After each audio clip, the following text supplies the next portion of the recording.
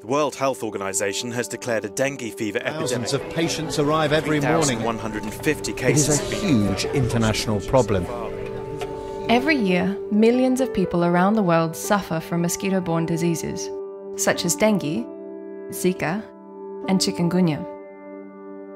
We believe we have a solution. It involves safe, naturally occurring bacteria called Wolbachia.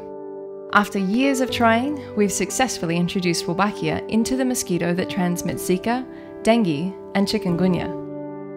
What we've found is that when the mosquito carries Wolbachia, it can no longer transmit any of these viruses.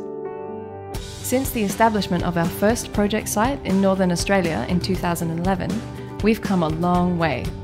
From a small research project, we've become an international not for profit initiative working in Latin America, Asia, the Pacific Islands, and Australia.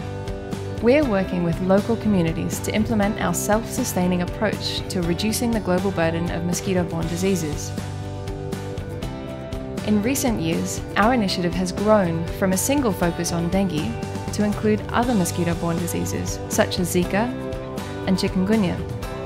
And our global reach and impact has significantly expanded. That's why we have a new identity that aligns with our mission to protect the global community from mosquito borne diseases. We are the World Mosquito Program.